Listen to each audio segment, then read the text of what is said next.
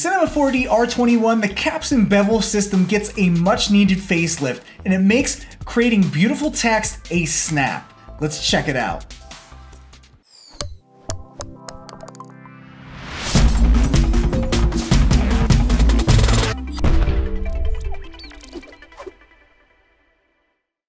In this video, I'm going to be covering one of the big new updates to Cinema 4D R21, and that is caps and bevels, and how it totally can change the way that you work with not only 3D text, but generator objects like extrude and sweeps objects. Now, if you want to follow along with what I'm working on, be sure to download the project files. The links will be in the description below. All right, so let's dig into the new caps and bevels in R21.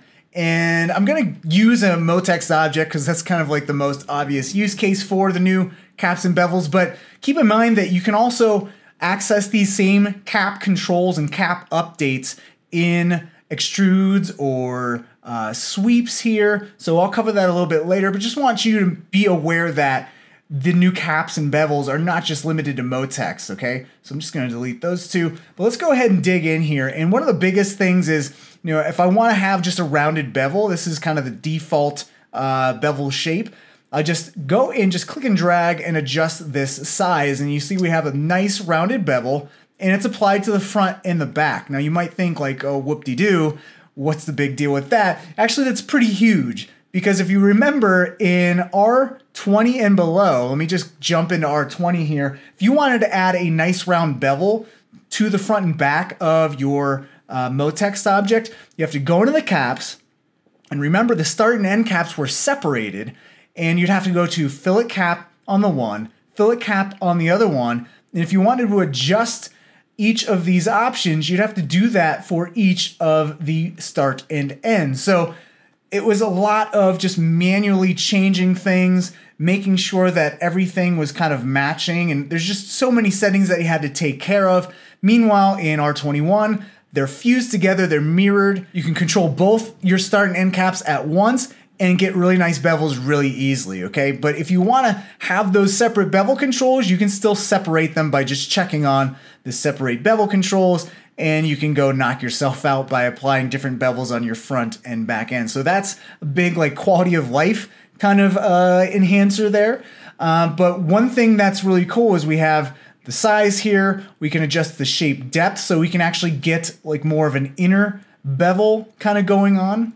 As you can see here, nice concave kind of deal there. We can also adjust the segments. And again, this is going to control both the segments on the front and back. If I just go into my uh, Gouraud shading lines, you can see all those segments there. And there's the shape depth. I can get this really nice concave bevel or you know, bloated out, uh, convex bevel, a lot more control there. Uh, another cool thing is the ability to get a step type of bevel shape. And let me just get out of Gouraud shading lines here. And here you can see that we have all these different segments or steps of that stepped bevel shape. So we can go like really cool, like Art Deco-y kind of thing and adjust the size here and you're going to see that we have this uh, new way to calculate the uh, bevels here. Let me just go and grab this SSAO so we can really see what's going on here. But we got all these really cool stepped bevels. And again, you can control however many you want. And again, get really cool like Art Deco-y kind of stuff. But you're going to see as I crank this up, we're actually not going to get all those weird janky edges that you used to have to watch out for in the past. And when I say janky edges, I'll show you what they looked like because what is new in R21 is the ability for the new caps and bevels to avoid self intersection. So if I check this off, you can see all these points kind of going out all over the place. And this is how bevels were calculated in older versions. But with this new calculation, we can crank up this bevel size as much as we want, and we're not going to get those weird kind of jaggy points jutting out all over the place. So let me just jump back into R20 and show how limited the fillet types were or the bevel shapes were. So I just showed you how you could add like a whole bunch of different steps. In old versions of Cinema 4D, you had one step or two step, and that was it.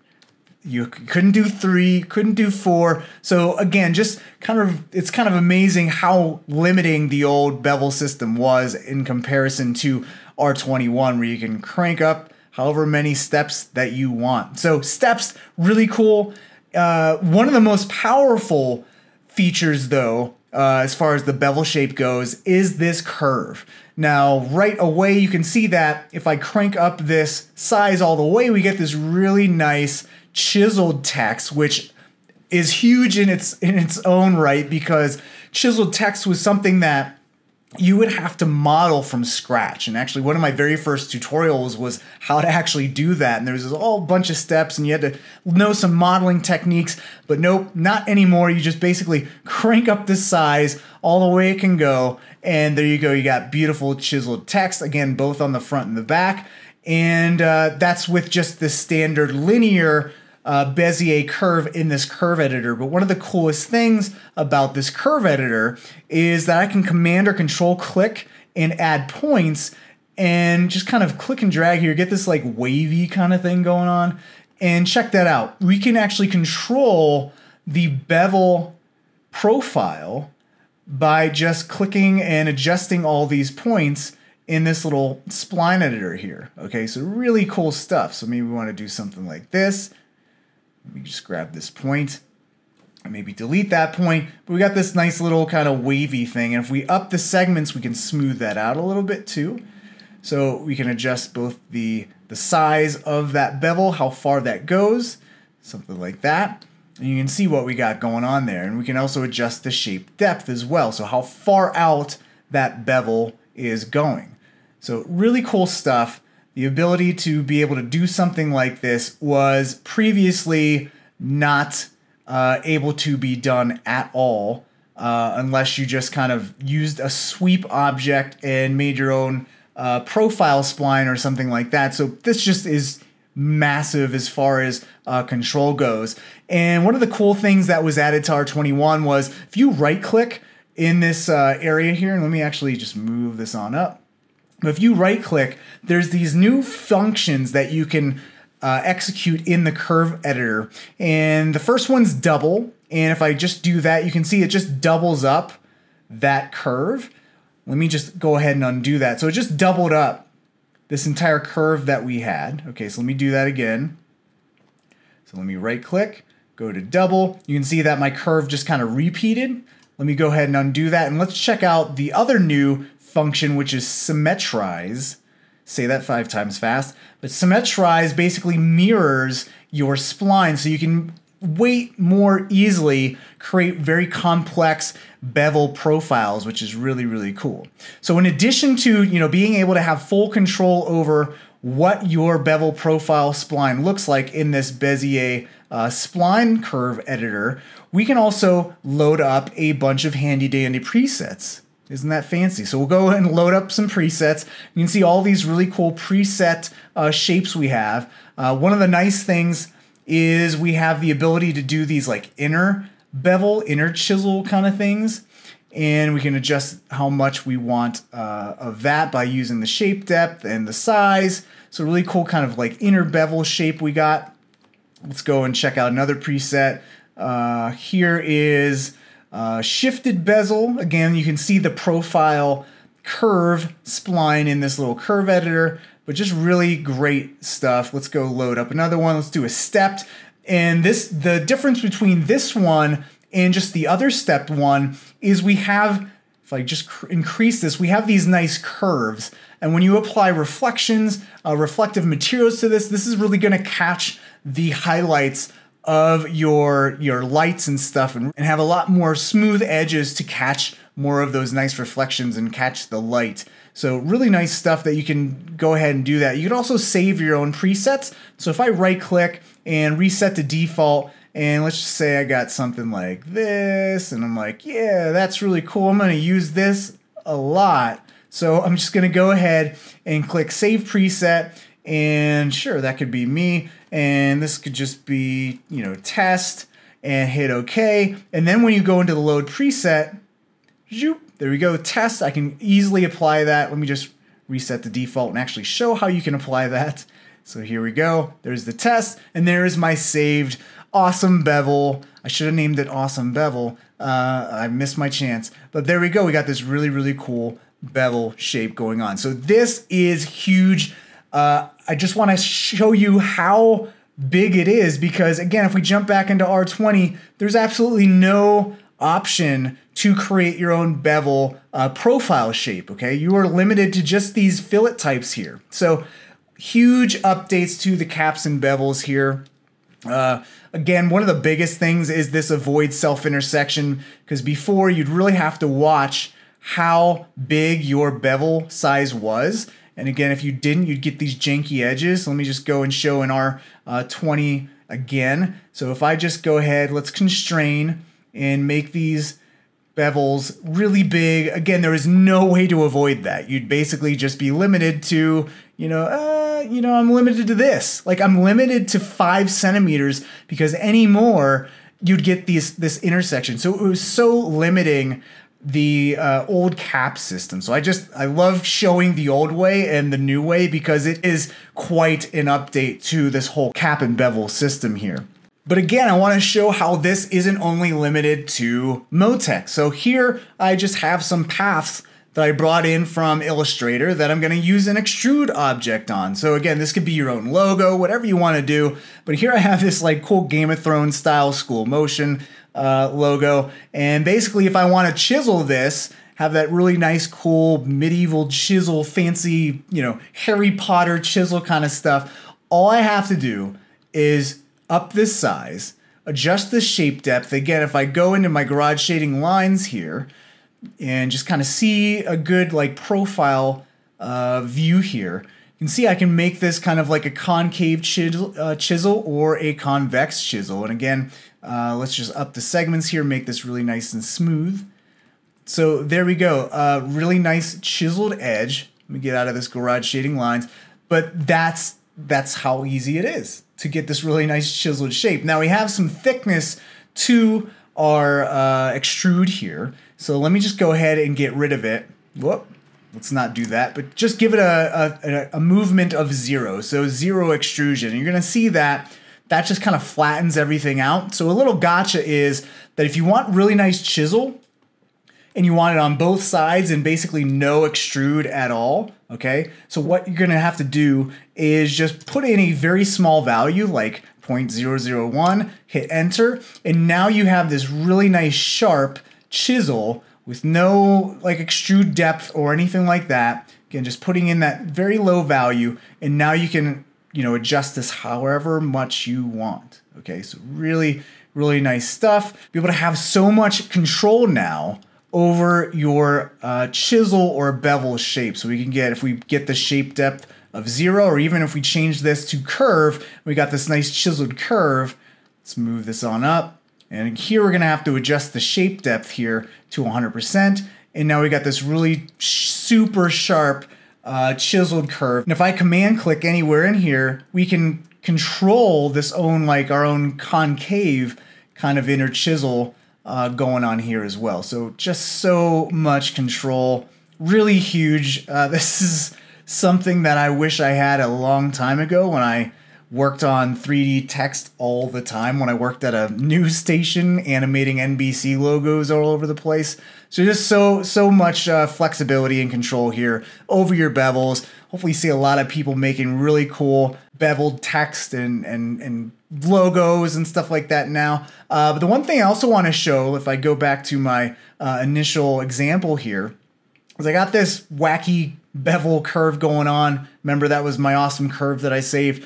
Uh, I want to show that you know this is we're using Gotham as a font, right? But what if we choose something else? Like let's do something wacky. Uh, let's do this felt pen for no reason whatsoever. And you're gonna see that this still holds up, okay? So the great thing about uh, the, the new bevel feature is that this works and holds up well no matter what kind of uh, font you're using. Okay, so again, because of that, uh, avoid self intersections, we're not going to get any of that jankiness happening on our uh, geometry here. So we can have full flexibility to use whatever font we want uh, without needing to, you know, be worried about like, oh no, is this font gonna work okay uh, with with this chisel or this bevel or anything like that. So here is, uh, you know, a, a font with serifs on it, and you can see that this holds up very well. If I let me just reset this to default, and if we want to make a chiseled uh, serif font, we can do that very easily. Again, not having to worry about any of those janky edges that we we would typically have. Okay, so this is just again so much flexibility, not limited to whatever type of uh, font that uh, you might want. Uh, really, just the the possibilities are really endless. Uh, and let me one of the one of the fonts that I really like was this croquette.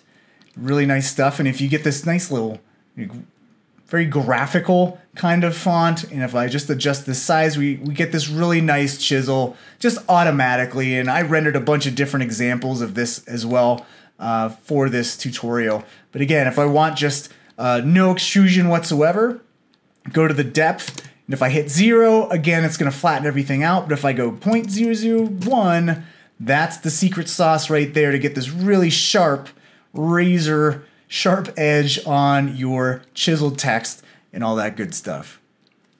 So another big uh, quality of life enhancement as far as caps go are with sweeps. So uh, one thing I would do a lot is I'd sweep a circle along a uh, another circle, another path, another spline. And what if you just wanted nice rounded edges on this? So what I'll do now with the new updated caps and bevels is just crank this all the way up to 100 and voila, if you just crank up the segments too. So if we had very low segments, all we'd have to do is just crank this up all the way to maybe, you know, 15 segments and we get this nice smooth rounded edge there. Now, this might again might not actually make you go, "Wow, that's cool." But let me show you again. Let me show you how you had to do it before in older versions. So here we are, R20. Again, if we wanted to add nice rounded bevels, we'd have to go to fill a cap fill a cap, and then we have to guess how big our radius could be without going with this, getting this janky uh, result there. So you'd have to really eyeball it and be like eh, 111, and then really crank that up, and then 111 here, and then really crank that up there. And again, like no, it's actually not 111. We need to bring this back a little bit. Maybe it's 82, and we'll bring this back to 82. Uh, what if we want to change the uh, size here? Well, we have to then adjust this as well, and we got to go change this and then change this again. And hopefully, this illustrates how much of a pain in the butt this used to be. If I go ahead and I adjust the radius here, make it a little bit bigger, I just make this value even bigger here as well. So like 150 and voila. Like so huge time saver when using sweeps. Uh, again, with extrudes, same kind of thing. Uh, just anything with this caps option uh, going on here. So, uh, you know, lofts, there's also caps with lofts. There's also caps with lathes. So all these generator objects that create geometry based on splines have this new updated uh, bevel feature, which is really, really nice. So again, we can even go into this sweep, say we don't want round, we want curve we can just go in here and just start adjusting this however we want and just do some nice uh, modeling here, which I don't know what this would actually be, but uh, yeah, just something like that. Maybe it's a crayon. We got a crayon going on there. So we got the crayon, little tip, and it's bent, right? So we'll just delete that. And we can have a nice little crayon shape. Look at that. Adjust the shape depth here. You make the circle a little bit bigger. So there's our, our crayon that we can then go and, and adjust however much we want. Adjust the shape depth here too, and get that the model the type of shape that we want. Now, you're gonna see why we have this little line here, and that's from this break Phong rounding. If I uncheck that, you can see we have a much smoother, unified kind of shape going on. So a little uh, helpful thing to know about that, breaking the Phong rounding there. And bevel outside just kind of thickens everything, as you can see.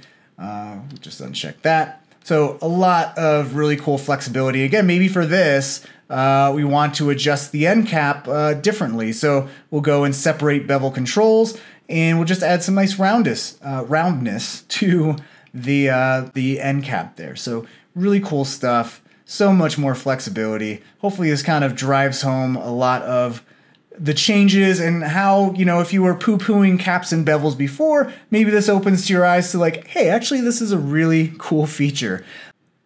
So one other thing that's really nice about caps in general in R21 is how it's handled when you make an object editable. So in the past, there used to be a create single object in your caps tab. And if I just jump back into R20, you can see this create single object. And basically what that would do is if you made this editable and then made this uh, child, and then if you made this other object editable, you would have a fused cap and extrude. Now, if I went ahead and undid that and unchecked this and made this editable and then made this other extrude object editable, you'd see that the caps and the rounding would be separate objects. See how it explodes out like that? Nine times out of 10, you would not want that kind of behavior. You want everything to be fused together. So in R21, that's the automatic, that's the default functionality of making an object editable. If I make this editable and then make this extrude editable, you can see it's already creating this as one single object. Another area where this is super handy, and this is something that would annoy the heck out of me, is if you made a cylinder and you made this editable, right? And you wanted to say, do a loop selection and move this up or down, that would actually be separate, okay? So let me go ahead and show you how that worked before. So this would drive me nuts. You'd make this cylinder editable, okay? You'd go and do the same thing I just showed you. You'd grab that loop selection and you're like, I just want to move this up. What the heck? so the default functionality in older versions of Cinema 4D is that the caps on a cylinder would be separate. So you'd have to do something like select all of your objects, right click, go to optimize, then do your loop selection, and then move this up or down without having that cap just kind of be disconnected and fly off all over the place. So again, a lot of quality of life enhancements in R21. Another thing you're gonna notice, and this is just a general uh, Cinema 4D R21, is the primitives have different segments by default. So they're a lot less uh, dense as far as subdivisions. As you can see here, we have a lot less subdivisions for, let me just grab another cylinder here. So we have the height segments of 4, rotation segments of 16. If we go and check out what the default cylinder settings were in previous versions, you can see that it's a height segment of 1 and rotation segments of 36. So just some subtle things that you'll see as you start getting your feet wet in R21, but that default uh, create single object being a default functionality is a small thing, but a big uh, workflow enhancer. We don't have to, you know, deal with uh, separate caps flying off or anything like that. So one last thing I want to cover that's a really cool enhancement is in the past, if you wanted to apply, say, a different material, like let's just make a, a red material here, and you wanted to place this on just the rounded bevel of your object, you'd have to go on that material and remember what the selection was. So R1 was for the front cap rounding, okay? And then if you wanted it to actually be the front cap, that's actually C1. And if you didn't know that, uh, you could easily be really confused as to like, how can I isolate and apply materials to just specific areas on my text? Well, in Cinema 4D R21, there's this new selections tab that is very helpful for if you ever forget uh, what those different uh, polygon selection letters and numbers were. Okay, it's like the secret secret codes to uh, getting these materials to certain parts of your object. So if I wanted the start bevel to be a selection, I'll just check that on. That's going to create the polygon selection, and then now all I'd have to do is drag and drop that into that selection. Voila, we have the R1 selection. Let's go back to our MoText. Maybe we'll uh, do shell. What's the shell? Well, the shell, if we drag and drop the shell in there, is the actual extrude part of your object.